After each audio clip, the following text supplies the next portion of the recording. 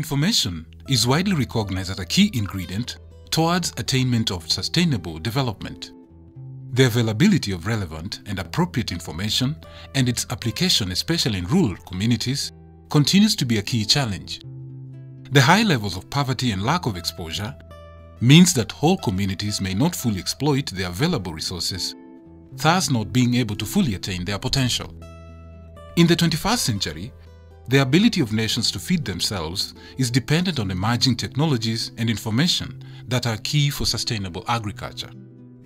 For countries like Kenya, whose economy is dependent on agriculture, the agricultural sector is key if the country is to achieve its Millennium Development Goals of fighting hunger and poverty. The Ministry of Agriculture, through the Kenya Agricultural Research Institute, KARI, has been promoting sound agricultural research, technology generation, and disseminating the knowledge to farmers to ensure that food security is attained. The biggest challenge, however, has been in developing easy dissemination mechanisms through which farmers can be informed and educated on agricultural technologies for them to maximize their yields. Research training and dissemination of agricultural knowledge are vital for productivity improvement.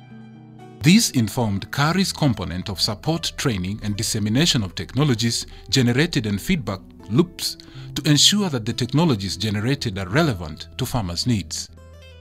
Technology generation is primarily its undertaking, but it has over the years partnered with other research institutions, non-governmental organizations, and international agricultural organizations. These organizations include Forum for Agricultural Research in Africa, FARA, which is an umbrella organization that brings together and forms coalitions of major stakeholders in agricultural research and development in Africa and complements the innovative activities of national, international, and sub-regional research institutions to deliver more responsive and effective services to its stakeholders.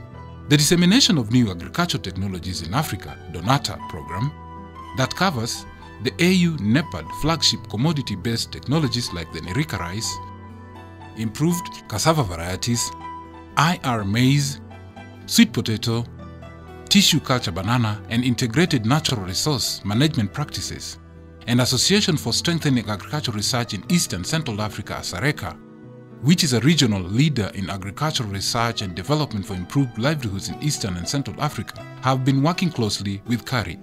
These organizations, together with KARI, have worked to mobilize farming communities and farmer advisory service providers to formulate questions so that agricultural experts, who include agricultural scientists, can give practical answers to farmers' immediate information requirements through an elaborate program that embraces information and communication technology through a platform known as eRails. Such mobilization has triggered the development of relevant contents to be accessed through the eRails platform. In the course of consulting services, that is question and answer services, key data are collected providing an opportunity for scientists and policymakers for better understanding of the community situation that include opportunities and challenges. Such data are the prerequisite for effective impact assessment, early warning, monitoring and planning of interventions. The statistical data and scientific expertise are combined to provide more targeted decision support service for local and national decision makers and investors. The second phase of the information system is focused on content management of eRails platform, specifically on how the system can be used to allow information flow from the scientists or agricultural experts to respond directly to farmers' needs. At the same time, being able to collect information from farming communities.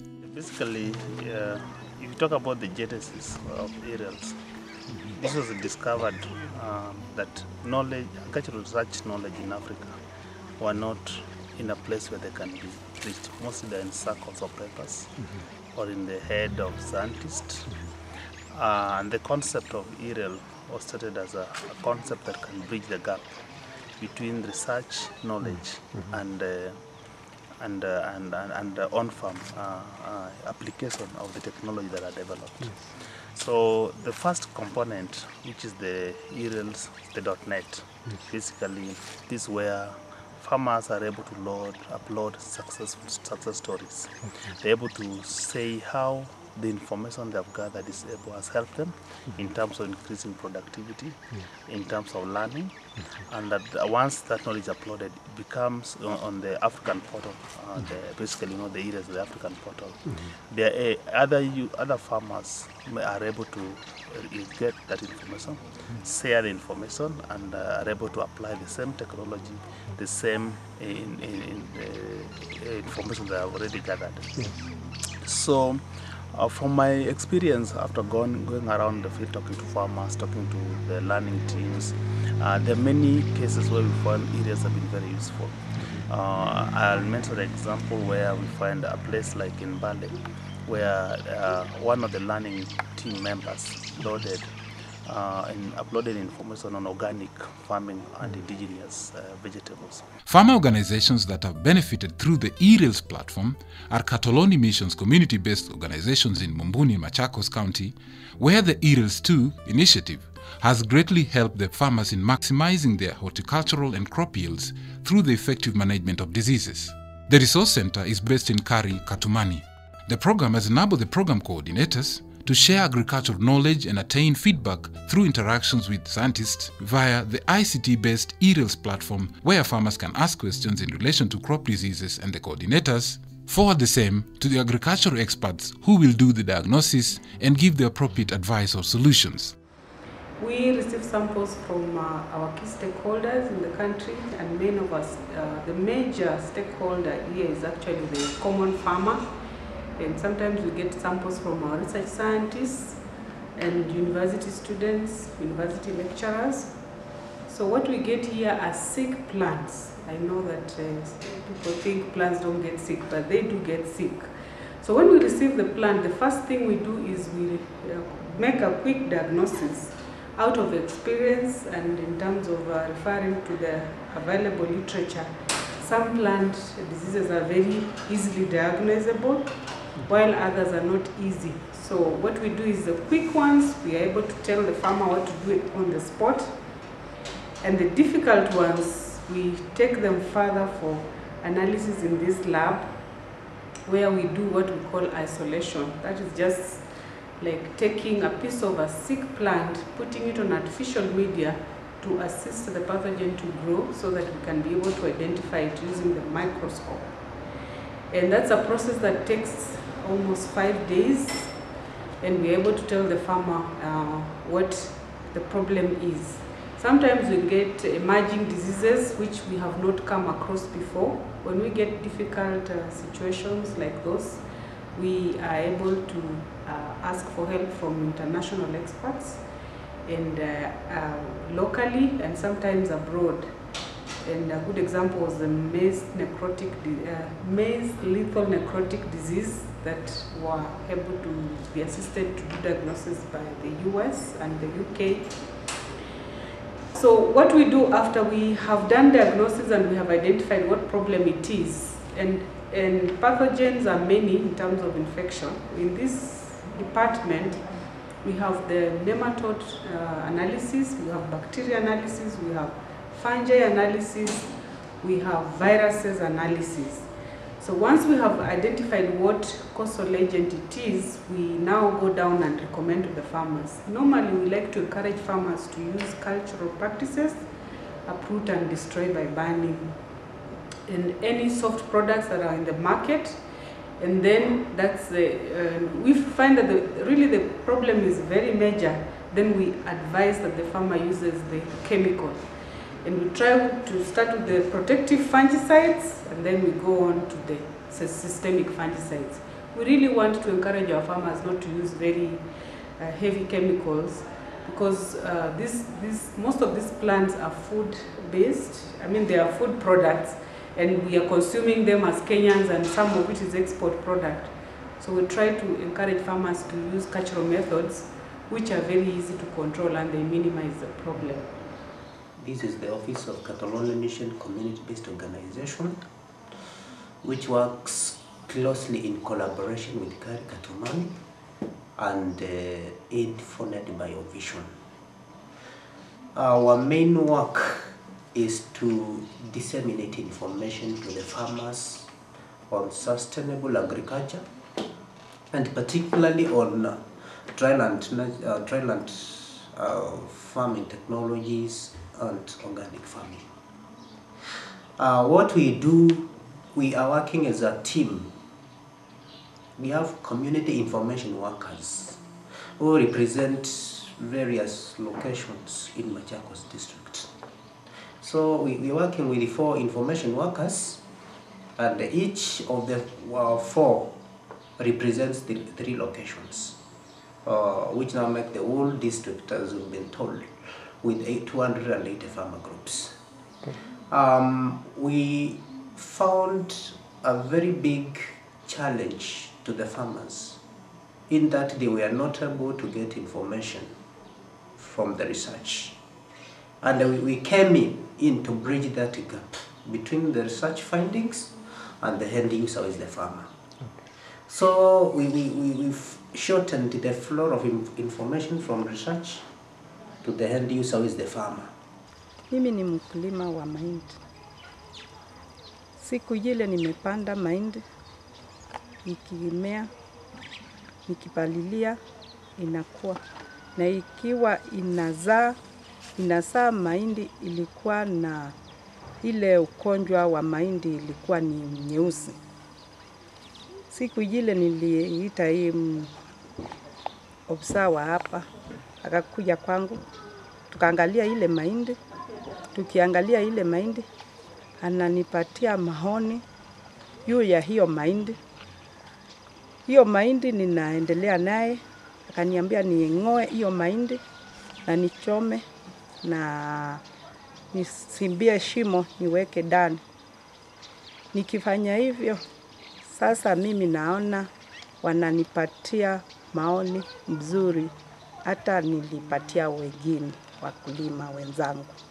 sukuma zangu ilikuwa imetani yellowish na wakanielezea vile nitafanya, wakaniambia niwe natumia manyua ile ya kawaida na niwe nafanya top dressing ya fertilizer yenye wanaita 2323.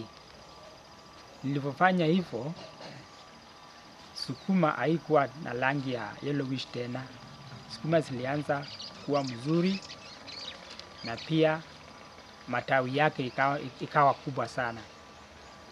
Kwa hivyo naona hiyo imenisaidia sana kwa upande huo, na tena walituadvise vile tunaweza fanya ile terraces kwa ile slope areas, na hiyo pia nimefanya na shamba yangu sasa naona inaendelea mzuri, soil erosion ikareduce.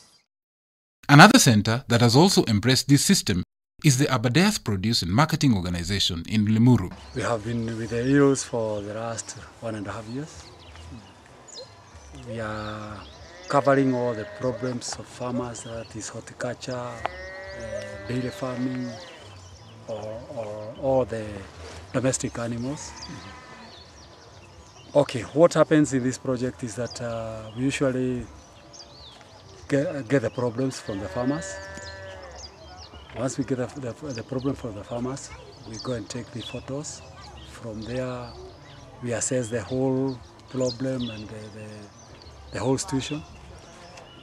We, we take photos, we, we, we load them in the, in the program, we send them to KARI. They do the research, the experts are there. They give us back the answers.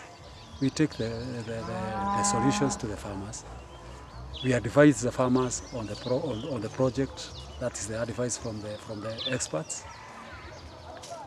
We file the, the, solutions with uh, the, our cybers, the Minister of Agriculture, and the organization itself. We have our headquarters in, the, in Garariga, where the HCDA is.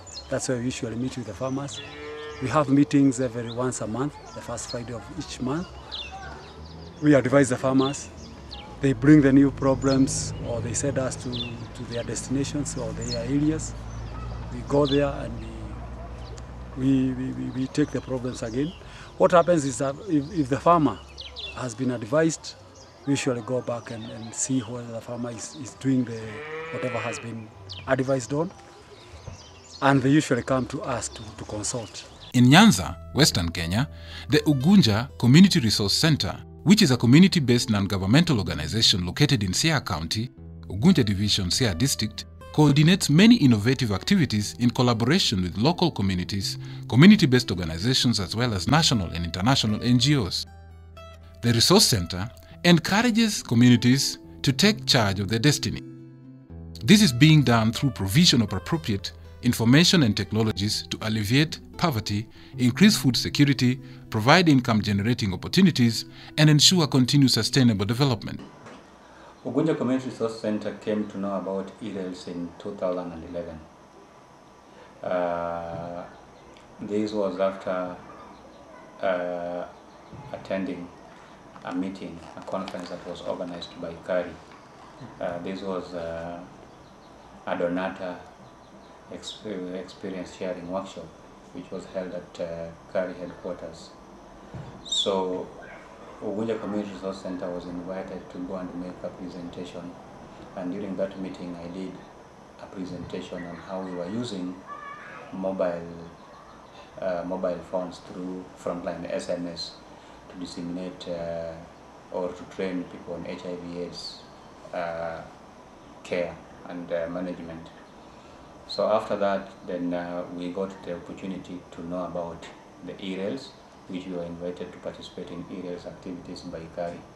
So from 2011, uh, then in 12, 2012, I was trained as a, an e-rails uh, facilitator, facilitating uh, preparation of the websites. And from that training, I came back and we established a platform in Ugunja.